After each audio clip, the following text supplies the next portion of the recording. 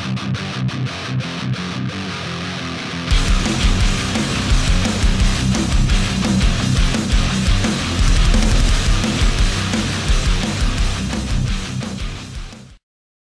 Hi guys, Joe here from Ru-Fi-Oh. Apologies about any noise in the background. We are at Locals, which is only really the kind of setting we have to work with at the moment to try and get these profiles done because we're in and out. But in any case, I've got Pibs from the team, Team Jam Jam Cards UK. Check the link out in the description for a cheeky little discount.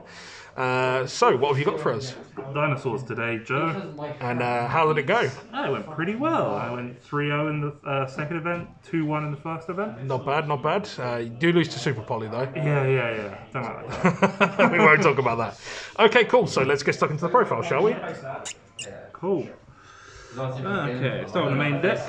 Yep. Super standard. So we've got three Oviraptors, Yep. three Miscellaneousaurus, Yep. one Giant Rex. Yep. Uh, that's the level 4 dudes. Then for the babies, we've got two Archosaur, two Baby Cerus, one Petite. Um, this is probably the correct ratio. Um, I rarely want more, but you don't need it because you by that point you've either won or lost the game. So um, yeah, it's all searchable as well. Then big dinosaurs, the one Pankratops and the two UTC. Yep. No need to go into how dumb these cards are. Yep. Um, and then, because we're playing a sort of, uh, well, I wouldn't say blind second, but a deck that definitely can go second, uh, we're playing a fair amount of hand traps. So we've got two Ash, uh, three Droll, this is like a hand trap of the format, uh, one Nibiru, be- because uh, the other ones haven't come through yet. Blame Jamie the kid for that, not dropping it through the letterbox this morning. And then we've got the Gamma package. I hate these cards. Uh, but They're you kind, so of, strong. you kind of have to play them, play them, but uh, they get sided out almost every game. Yeah. Um, then that's all the monsters. Yeah. Get out. Any changes you you do with that? Honestly, like the ashes become Nibirus when I get more Nibirus Yep. because the ash and the droll conflict. So Yeah, yeah, yeah. Um, but yeah, it works out fine. Uh, onto the spells. So we're playing extra, like any good dinosaur deck should be at the moment. Mhm. Uh, three fossil dig because this, these cards are still at uh, three for some reason. Uh, two pill. Yeah. Uh, wouldn't play one. That wouldn't play three. Two is definitely correct. Uh, Lost World and the terraforming. Lost Uh, World's actually so it's actually underrated. bananas. like the fact that Overact can target your opponent's dinosaur is still just to this day stupid. Um, its targeting protection's dumb, and the attack reduction is actually relevant. Like crazy. Uh, and then I play uh, droplets as well. Yep. Uh, this card, I, it came to me today how bonkers this card is. The fact you can go main phase, play extravagance, chain this, and send the extravagance away. Yeah. It's just crazy. Like um, I broke a ball of Titan and Dragoon with it. Like yeah, like you, t- you take out their, their negates and then you just yeet them with the ultimate conductor. Or if you're me, you use it to get rid of your driver that your opponent doesn't kill intentionally, so you can have it in the grave and you get it back Yeah. gamma. I still lost though. Big brain plays. Still lost. Yeah, and it's, it's also in like weird situations, kind of like an out to Mystic Mine against like Striker and stuff. yeah. They go, oh, well, summon my Hayate. I'll just go, cool. I'll droplets and just get rid of all my cards. Yeah, that's fair. Yeah. Uh, extra deck.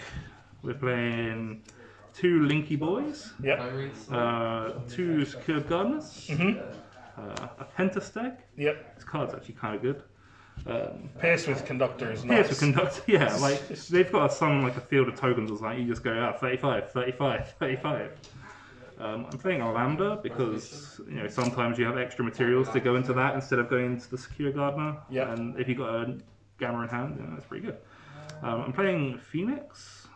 Um, and then that's all the Link monsters. Yep. And for XYZs, playing the Exciton Knight, because this is pretty cool. If you um, droplets away their negates, then you make this and send their board. um, Tornado Dragon. Yeah. Uh, comes up quite a lot with Bardish being around get through those uh, fog blades. Yep. Uh, Dweller, because, yeah, Dweller. Uh, two Laggias, Mhm. two Dolkkas, Yep. and I'll play an Omega just because of Gamma, really. Yep. Uh, not that that ever really comes up. But your extra deck is, isn't super important. So long as you have the Linkuriboh, the Secure Gardener, and a Dolkka, you're going to make your board. Yeah, everything else is sort of flex. Cool. Um, Do we want to do side deck? Yeah, that- we can talk sideboard. I think I know that they change from like place to place and Yeah. format to format, but just some people have got some ideas. So play the imperm. Yeah. Usually the gammas come out for this. To be fair. Um, Yeah. Especially when I don't know whether or not they're going to make me go first or 2nd Mm-hmm. Um, Dimension Barrier. This card is actually like so good. But it doesn't stop super popping. Not unless you uh, you flip it preemptively.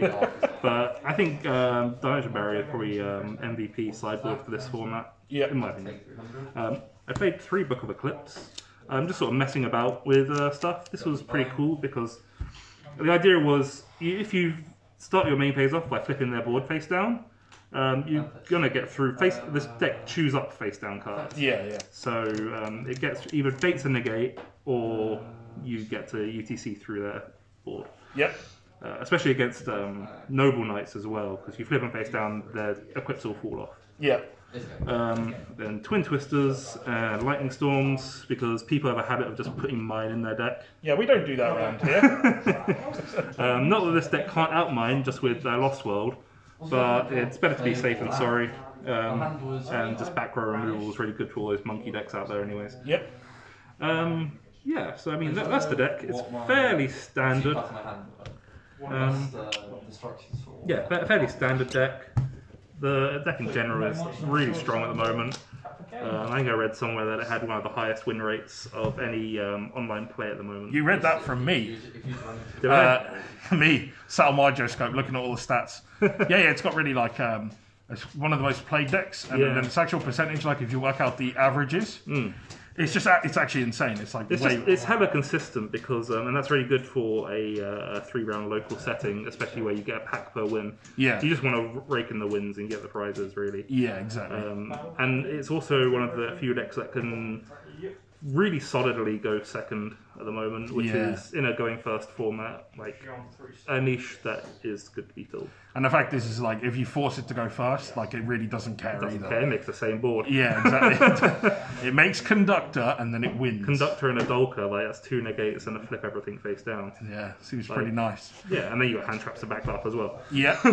is there anything you'd change or anything you're thinking about trying out? Other than the ashes and the the Nibiru, I think that's that's about it really.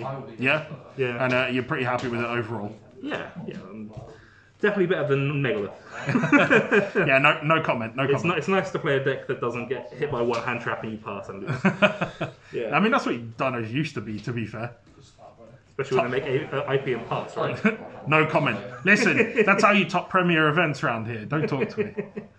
Right, well, thank you very much for taking the time to go through the profile. I know it's quite a short one, but I think we got to the point. Uh, any shout-outs before we go? Jam Jam Cards UK. It's pretty much obliged card to say that. needs and Manuscrew, of course, for still hosting events in this trying time. Yes, trying time indeed. Well, thank you very much for coming along, guys. Hopefully, you have enjoyed the video. If you have, you should definitely hit subscribe so you don't miss out on more in future. And I will see you in the next one. Peace.